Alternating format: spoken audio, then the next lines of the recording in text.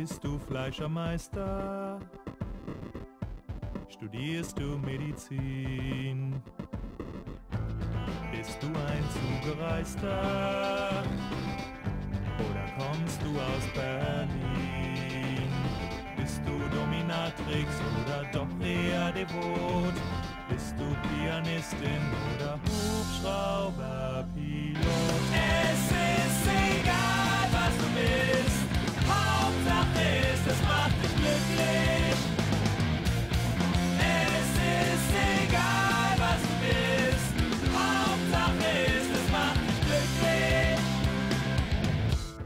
Bist du süchtig nach Liebe? Oder bist du Misanthrop? Bist du vielleicht ein Model? Oder eher ein Zyklop? Bist du gern im Schatten oder immer tief gebräunt? Bist du ein Gourmet?